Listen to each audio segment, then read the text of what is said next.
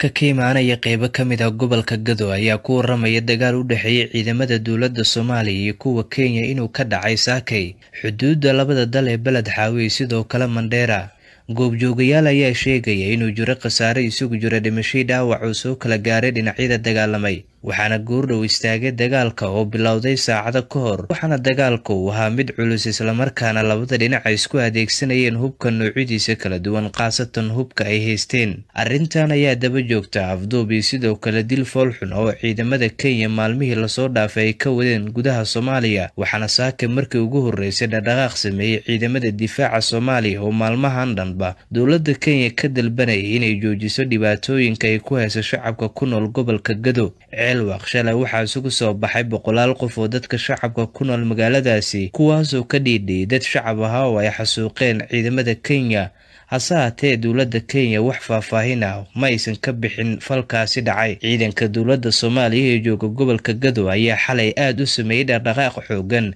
waxaana dhammaan loo yeeray ciidamada xerooyinka joogay kuwaasoo lagu amray inay u diyaar garoobaan dagaal. Waxaana dagaalka saaka ka dhacay duleedka magaalada beledxaaw ee gobolka gado ee u dhexeeyay ciidamada kenya iyo sidoo kale kuwa soomaaliya uu ku soo aaday xilli shacabka gobolka gado ay dalbanayeen in layska dhiciyo ciidamada kenya. Lama oga saraakiisha iyo sidoo kale ciidanka dowladda federaalk soomaaliya khasaaraha soo gaaray sidoo kale lama oga khasaaraha gaaray ciidanka kenya hase haatee saraakiisha ciidamada dowladda ayaa lagu wadaa in warbaahinta ay la hadlaan. Shacabka ku nool gobolka gado qaarkood ayaa bilaabay in hubka ay qaataan si ay ula dagaalamaan ciidanka kenya una gacan siiyaan ciidanka dowladda federaalk soomaaliya. Hase haatee shacabka degmada beled xaawa ayaa aruurnimadii hore saaka arkayay gaadiidka kuwa dagaalka ciidanka dowladda oo hore magaaladan loogu arkayn kuwaasoo dhaqdhaqaaq ka sameynaya magaalada. Ciidanka dowladda ayaa u muuqday in iska caabinta ay sameeyeen ay ahayd mid xoogan khaasatan dagaalkaay la galeen ciidanka dowladda waddankaasi kenya.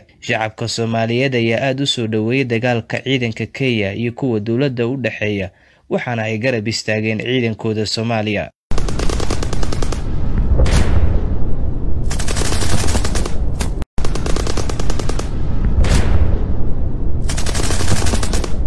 wararka ka imaanaya qeybo ka mid ah gobolka gado ayaa ku waramaya dagaal u dhexeeya ciidamada dowladda soomaaliya iyo kuwa kenya inuu ka dhacay saakay. Xuduudda labada dal ee beled xaawiye sidoo kale mandheera goobjoogayaal ayaa sheegaya inuu jiro khasaare isugu jira dhimashii dhaawac uu soo kala gaaray dhinacyada dagaalamay waxaana goordhow istaagay dagaalka oo bilowday saacado ka hor waxaana dagaalka uu ahaa mid culus islamarkaana labada dhinac ay isku adeegsanayeen hubka noocyadiisa kala duwan khaasatan hubka ay haysteen. Arrintan ayaa daba joogta afduub iyo sidoo kale dil foolxun oo ciidamada kenya maalmihii la soo dhaafay ay ka wadeen gudaha soomaaliya waxaana saaka markii ugu horreysay dhaqdhaqaaq sameeyey ciidamada difaaca soomaaliya oo maalmahan dhanba. Dowladda kenya ka dalbanayay inay joojiso dhibaatooyinka ay ku hayso shacabka ku nool gobolka gado ceelwaq shalay waxaa isugu soo baxay boqolaal qof oo dadka shacabka ku nool magaaladaasi kuwaasoo ka dhiidhiyay dad shacab ahaa oo ay xasuuqeen ciidamada kenya hase haatee dowladda kenya wax faahfaahin ah ma aysan ka bixin falkaasi dhacay. Ciidanka dowladda soomaaliya ee jooga gobolka gado ayaa xalay aad u sameeyey dhaqdhaqaaq xoogan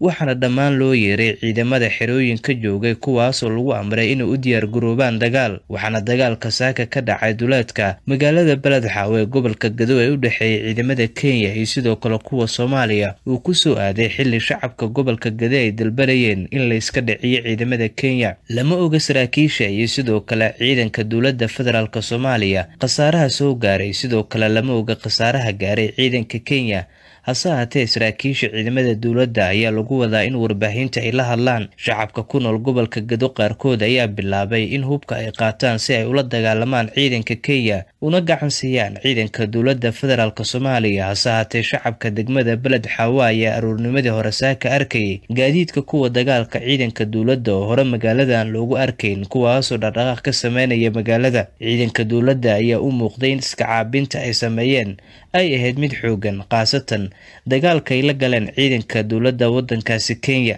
Shacabka soomaaliyeed ayaa aada u soo dhoweeyay dagaalka ciidanka kenya iyo kuwa dowladda u dhexeeya waxaana ay garab istaageen ciidankooda soomaaliya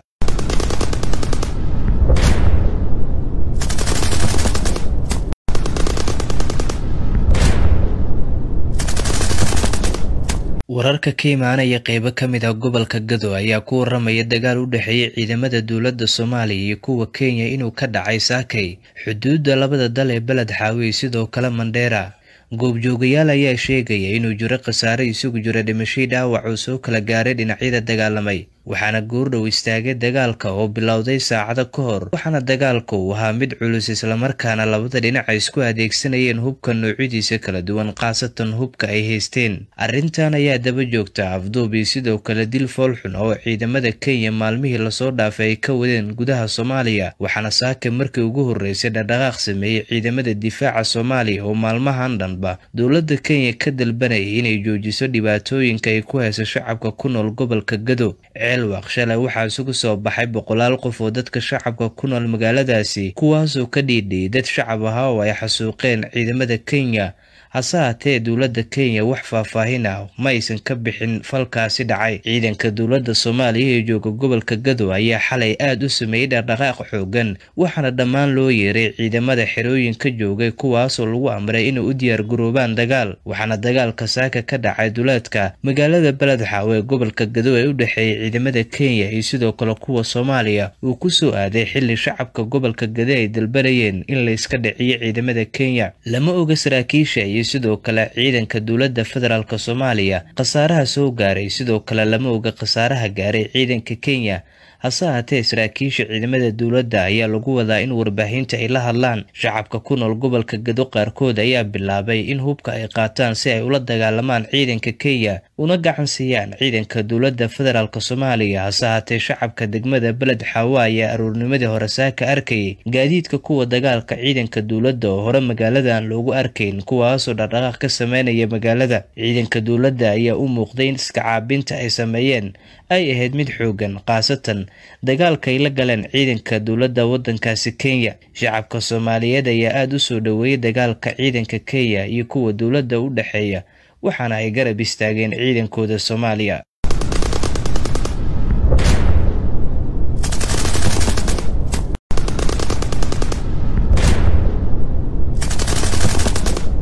wararka ka imaanaya qeybo ka mid ah gobolka gado ayaa ku waramaya dagaal u dhexeeyay ciidamada dowladda soomaaliya iyo kuwa kenya inuu ka dhacay saakay. Xuduudda labada dal ee beled xaawiye sidoo kale mandheera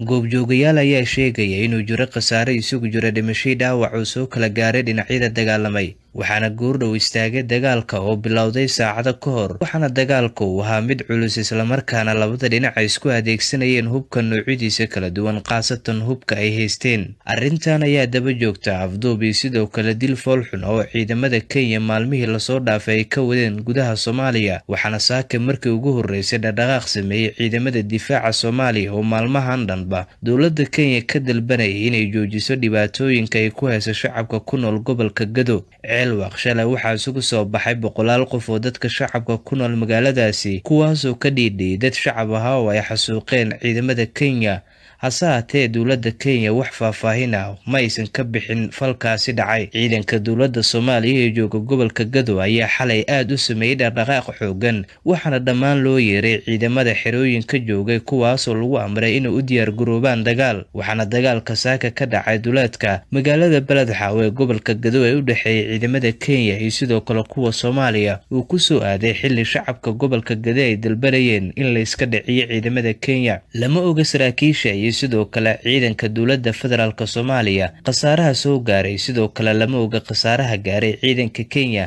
hase haatee saraakiisha ciidamada dowladda ayaa lagu wadaa in warbaahinta ay la hadlaan. Shacabka ku nool gobolka gado qaarkood ayaa bilaabay in hubka ay qaataan si ay ula dagaalamaan ciidanka kenya una gacan siiyaan ciidanka dowladda federaalk soomaaliya. Hase haatee shacabka degmada beled xaawa ayaa aroornimadii hore saaka arkayay gaadiidka kuwa dagaalka ciidanka dowladda oo hore magaaladan loogu arkayn kuwaasoo dhaqdhaqaaq ka sameynaya magaalada. Ciidanka dowladda ayaa u muuqday in iska caabinta ay sameeyeen ay ahayd mid xoogan khaasatan dagaalka ay la galeen ciidanka dowladda waddankaasi kenya. Shacabka soomaaliyeed ayaa aada u soo dhoweeyey dagaalka ciidanka kenya iyo kuwa dowladda u dhexeeya waxaana ay garab istaageen ciidankooda soomaaliya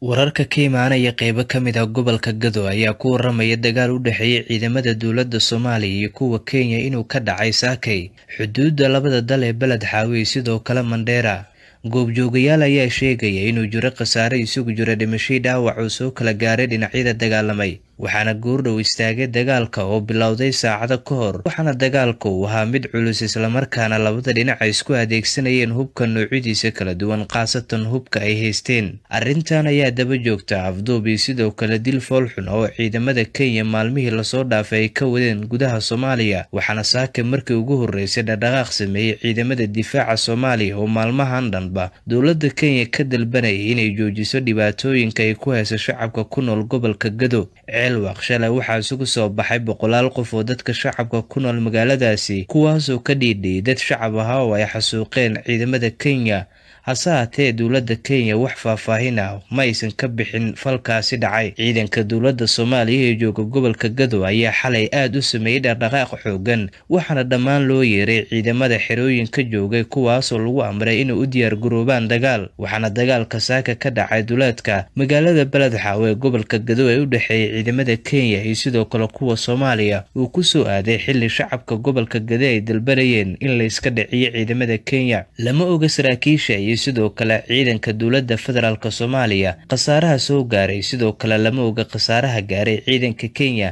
hase haatee saraakiisha ciidamada dowladda ayaa lagu wadaa in warbaahinta ay la hadlaan. Shacabka ku nool gobolka gado qaarkood ayaa bilaabay in hubka ay qaataan si ay ula dagaalamaan ciidanka kenya una gacan siiyaan ciidanka dowladda federaalk soomaaliya. Hase haatee shacabka degmada beled xaawa ayaa aroornimadii hore saaka arkayay gaadiidka kuwa dagaalka ciidanka dowladda oo hore magaaladan loogu arkayn kuwaasoo dhaqdhaqaaq ka sameynaya magaalada. Ciidanka dowladda ayaa u muuqday in iska caabinta ay sameeyeen ay ahayd mid xoogan khaasatan dagaalkaay la galeen ciidanka dowladda waddankaasi kenya. Shacabka soomaaliyeed ayaa aada u soo dhoweeyay dagaalka ciidanka kenya iyo kuwa dowladda u dhexeeya waxaana ay garab istaageen ciidankooda soomaaliya